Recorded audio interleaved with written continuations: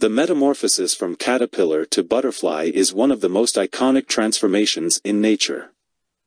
There are four stages in the metamorphosis of butterflies and moths, egg, larva, pupa, and adult. Stage 1, Egg.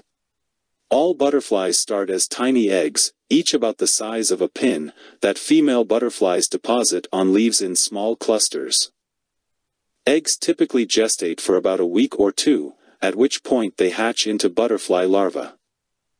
Stage 2, Larva. Almost all insect species go through larval stages. Fly larvae, for instance, are commonly known as maggots. Butterfly larvae, more commonly known as caterpillars. Caterpillars are notoriously voracious, consuming grass, leaves, and other plant material as they grow up to 1,000 times their original birth weight. While some species binge and blow up in just a few weeks, others take longer to develop. No matter how long it takes, each caterpillar is eating to prepare for the next stage in its life cycle, when it will put those calories to use to power a startling transformation. Stage 3, Pupa.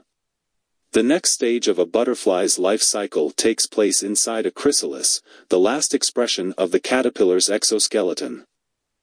While it may not look like much to the naked eye, there are incredible processes occurring in this motionless casement. The caterpillar will break down entirely on a cellular level, and then reorganize itself into a new form. The result is an adult butterfly that emerges from exoskeleton after a period of several weeks. Stage 4, Adulthood. Adult butterflies leave behind their chrysalis and take to the air on their new wings. Once they reach this stage of life, butterflies spend most of their time looking for a mate, and they may not have long. On reaching adulthood, many butterfly species live for less than a month. When butterflies succeed in finding a mate, another batch of fertilized eggs is produced and the cycle begins anew. A female butterfly only lays eggs over a 2 to 5 week period. During this time, she probably lays an average of 300 to 400 eggs in the wild. Numbers in captivity are higher, about 500 to 700 depending on things like temperature and the conditions under which the female is kept. However, contrary to popular belief, their lifespan isn't as short as people think.